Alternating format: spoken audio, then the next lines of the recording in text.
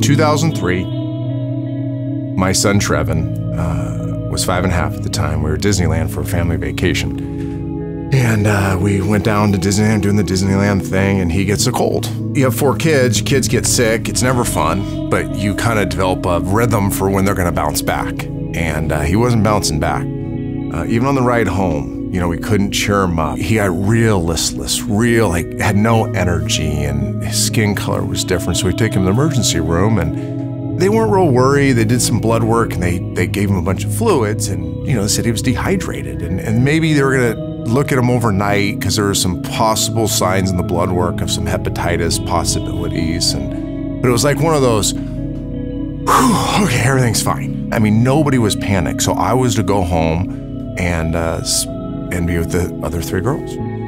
It's not, I mean, I'm not home for five minutes. I get this call that, hey, uh, on the way to the hospital, your son's heart stopped. I run in, and, and the, the first thing I remember seeing is a team of doctors um, all hovering over my son and, you know, trying to resuscitate him. Shortly thereafter, Dr. out said, Oh, great news.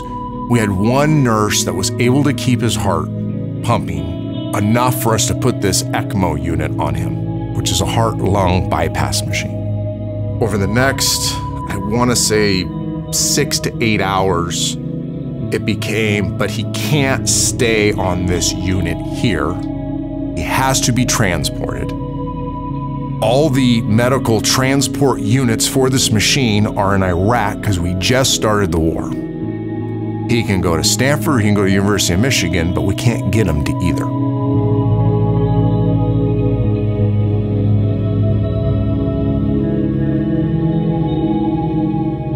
My great friend drove us in the suburban behind the ambulance, and it was the worst two and a half hour drive in the history of the world because every bump you went over, we weren't sure if he made it.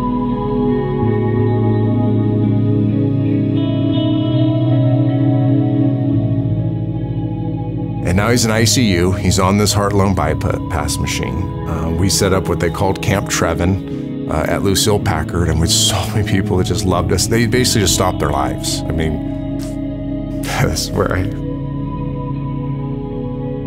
So many people laid down their lives, um, in a sense, to love on us and to care for us in this time. And, and uh, he was on this machine for 40 days at Stanford.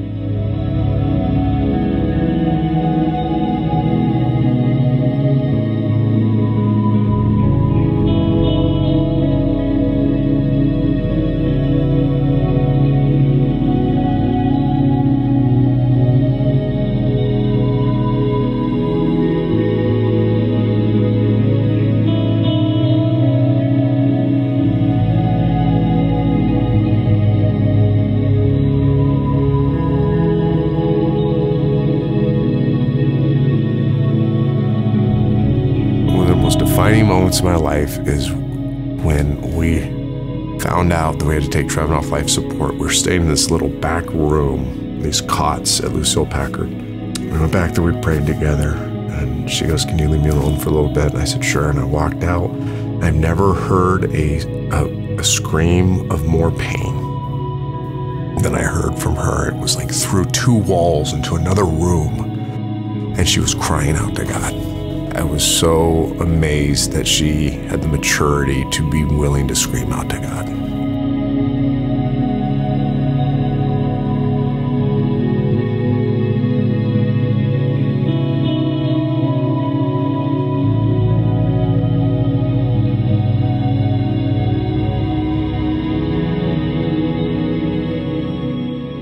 Terrific, and I, I'm not here to say it's not, but what's equally awesome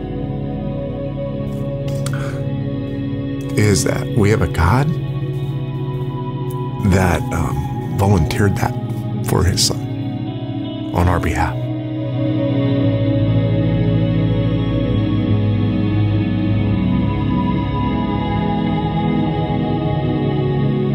I mean, people say, why would you believe in this Jesus? Like, come on. And, and I, the cynics, and I, I get it. And I simply say, you have no idea I've experienced a peace during the greatest time of loss any parent could ever have that is so real. I mean, truly, I feel like it washes over me at times.